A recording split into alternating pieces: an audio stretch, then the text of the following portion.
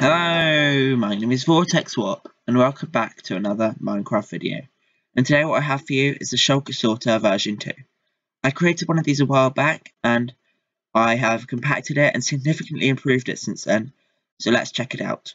What it does is it takes an input of shulker boxes, like these here I've got sorted nicely, and it will locate an item within them. So you, all you need for this is your shulker boxes that you want to sort through, and one of the items you want to find. So I want to find the shulker box that has a grass block within it.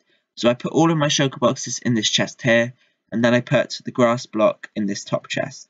And what it will do is it will begin sorting, and then when it's finished, it will have located the shulker box. So I can look in here, and the last item in the chest will be the shulker box with the grass block in it. And as you can see from this demonstration, it is. It's got grass blocks inside the shulker box. It's only a 3x3 system, as you can see. I've stripped it to its bare bones up here. Um, it's a tiny bit bigger down there because obviously you need some blocks to keep it in. And you also need um, like chest if you really want. But this is its bare bones. The way that it works is it puts the shulker boxes in here and it dispenses them into this space. Then it waits a while so that the item in this hopper has time to filter through. And if it doesn't filter through, it destroys it and it goes into this hopper, which is locked so that it can't go in. If the item can go in, it will stop the redstone clock, which will break which will break the shulker box one last time, then stop the system and unlock this hopper. Because the shulker box was broken, it's the last shulker box on this hopper, it will pick, be picked up last and will be the last item in the chest. So what I'm going to do is show you the whole system in action and show you how simple it really is. Um, I'm just going to block this off here so that the items can't escape. And I'm going to put, uh, I'm going to get some some bone block shulkers and a grass block shulker. So bone block shulkers and a grass block shulker.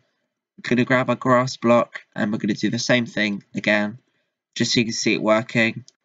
As you can see, the clock is running and then it finds it and the clock stops.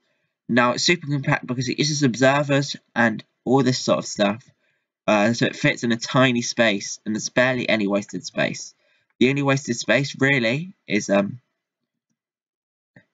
is this block, which isn't actually required for the contraption, but it is there to stop the items spilling out. This block, this block, this block, this block, and this block. So it's really, really well fitted into the area. Um, and it doesn't use many redstone resources either. Now to build it, all you need is five blocks of your choice. 1 redstone comparator, 4 observer blocks, 1 regular piston, 1 sticky piston, 1 redstone dust, 1 redstone repeater, 3 hoppers, and 1 dispenser. Okay, so this is going to be the front layer. You're going to be stood behind this line. You need to come one block behind and place two observers facing forward. Then you need to come up and place a dispenser facing upwards, and then a hopper running into that a temporary block here with a hopper running into that and break that block. You will then need to get a piston and place it on top of this hopper facing this way. Then you can go up by a temporary block, place a hopper and place a block here and break that block. Then you can place an item comparator on that block there with a sticky piston facing down being run into. Then come around to this side, place an observer in this direction, place an observer in this direction, place one block here, one block here, place a redstone dust, and place four tick repeater. So now it should be done. All you have to do is pop your shulker boxes in here. We will be searching for spruce wood planks. And of course the first one was spruce wood planks, as you can see. If we do it again, but with sandstone this time, you'll see the second one there, sandstone. Ta-da! So there we go, guys. Thanks for watching. If you enjoyed, remember to leave a like, comment, and subscribe down below. And if you have any questions, leave them in the comments. Goodbye now. See you in the next one.